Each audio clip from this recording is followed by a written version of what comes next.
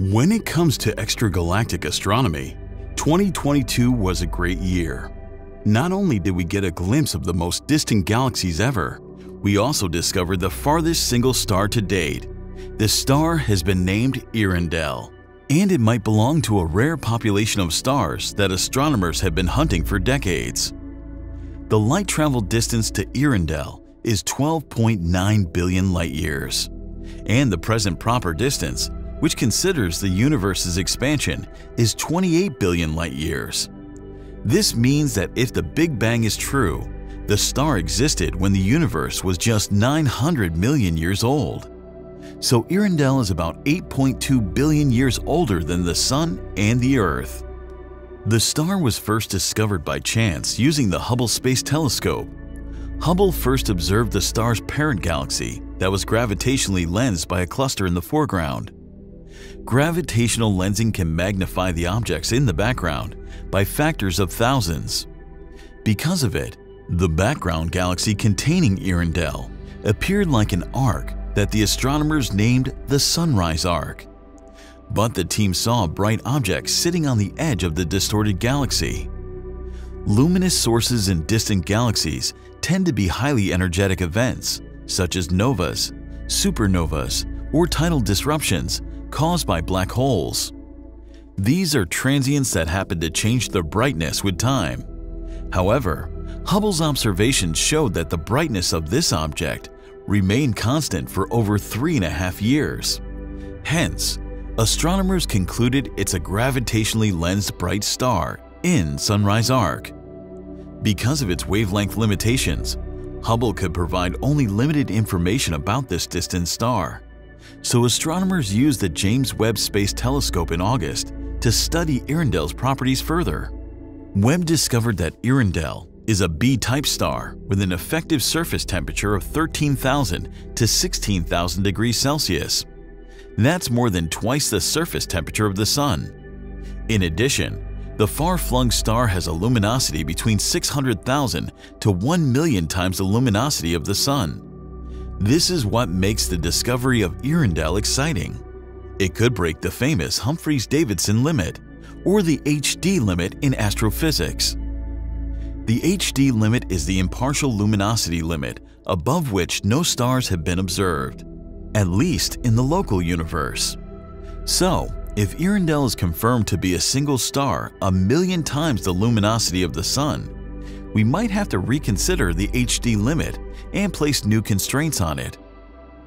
Earendel's discovery is important because this might be the first observation of a population 3 star that astronomers have been hunting for decades. Primordial nucleosynthesis produced two major chemical elements, hydrogen and helium. The first generation of stars known as population 3 stars had trace amounts of metals and hence a low metallicity. In astronomy, any element other than hydrogen and helium is referred to as a metal. Astronomers believe that most of the population 3 stars have died by now, and the remaining ones are pretty dim and difficult to observe. They are almost impossible to be seen naturally, and most candidates have been found in gravitationally lensed galaxies. So follow-up observations of Earendel are important, as they might reveal the nature of some of the first stars in the universe in detail.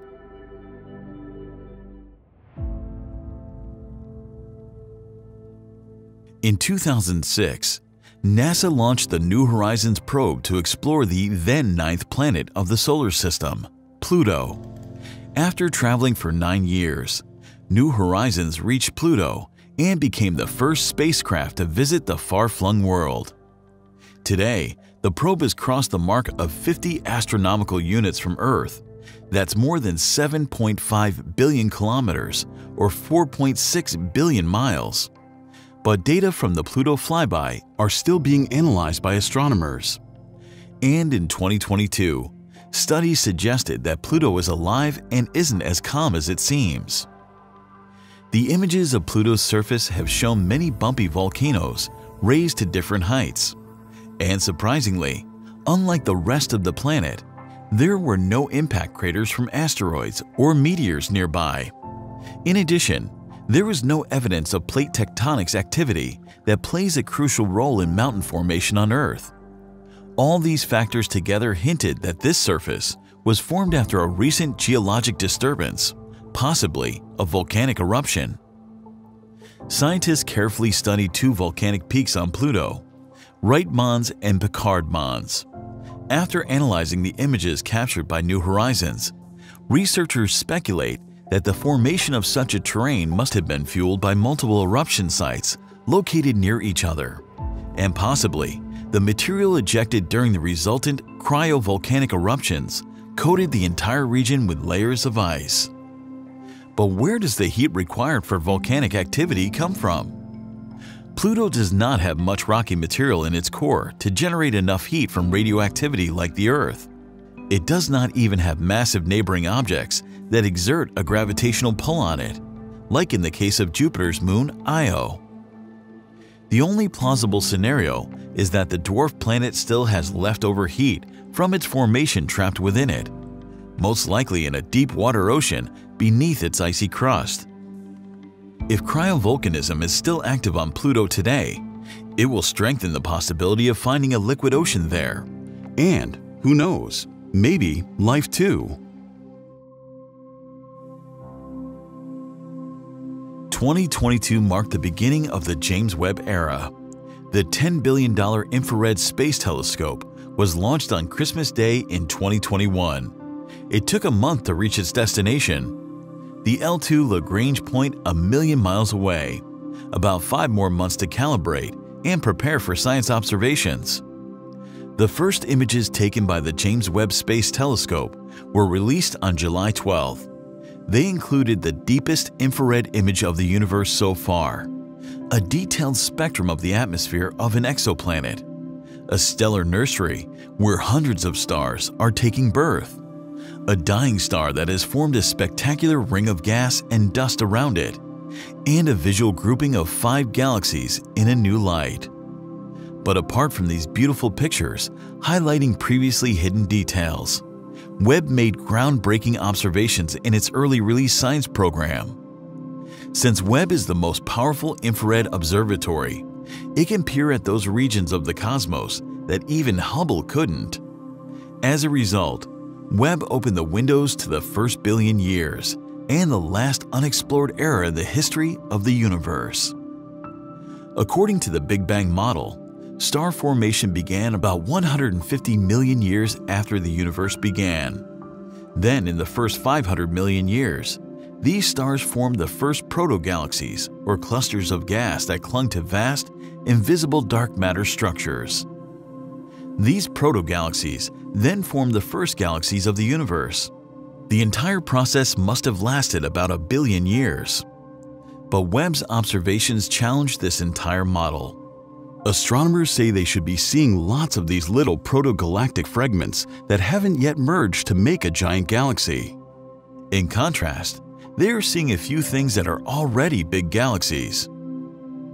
The super early galaxies discovered by Webb in the first 200 to 300 million years of the universe have large stellar masses, high absolute UV luminosity, and a high star formation rate.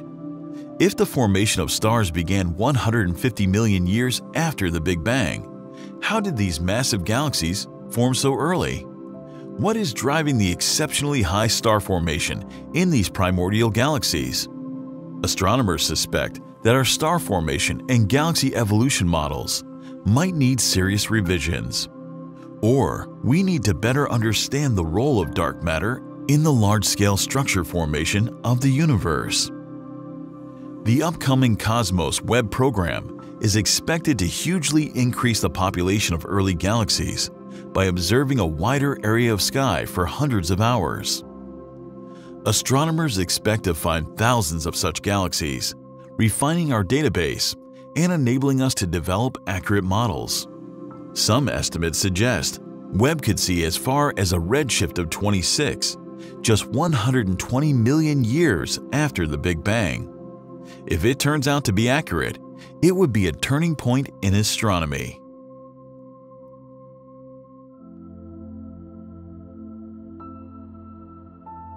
2022 was an important year in the field of study of wormholes. Wormholes are exotic objects which act like bridges between two faraway regions in space-time. They are hypothetical connections believed to be shortcuts between regions within our universe. They could also be connecting two different universes.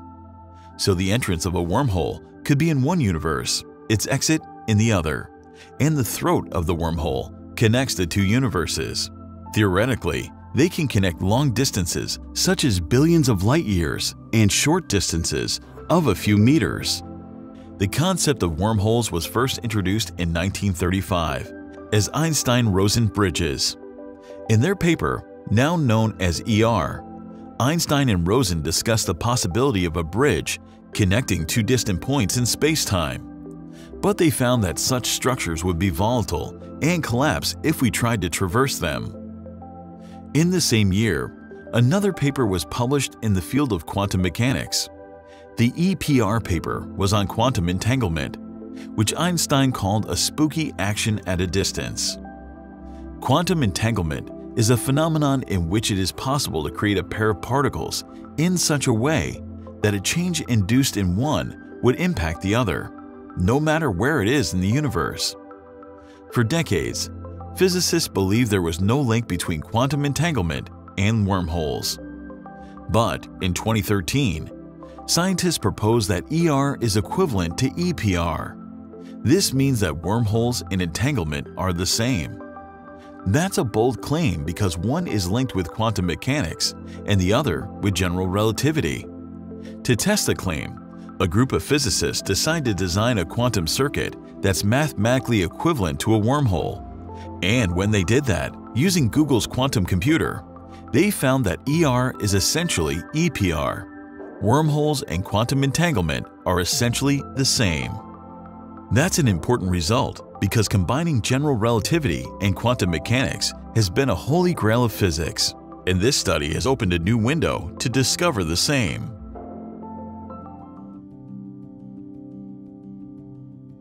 On May 12, 2022, astronomers released the first picture of the supermassive black hole lying at the center of the Milky Way.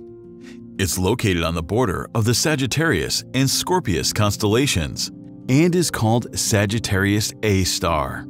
The supermassive black hole is 27,000 light-years away and subtends at an angle of just 52 microarc seconds in the sky. So imaging this black hole is like pointing the telescopes at a donut-sized object on the moon. It took several decades to master the technique involved in producing this image of the black hole. It's a significant milestone in radio astronomy and computational physics that lies at the heart of modern research. The image of Sagittarius A star was released based on radio interferometer data taken in 2017. Technically speaking, it's a picture of the accretion disk around the horizon of Sagittarius A star that took five years of calculations to process. And eight radio telescopes collected the data at six different locations.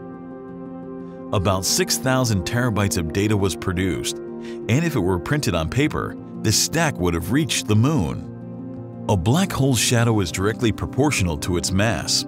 When astronomers calculated the mass by analyzing the image, it perfectly matched the theoretical values of 4 million solar masses. Hence, with this image, Einstein's general theory of relativity has passed yet another rigorous test, with flying colors. Every Sunday, we release a video on the latest groundbreaking discoveries made in physics and astronomy. The videos of this series are created in a way so that there's something for everyone in them. Make sure to subscribe to our channel and press the bell icon so that you don't miss any video of the Sunday Discovery series.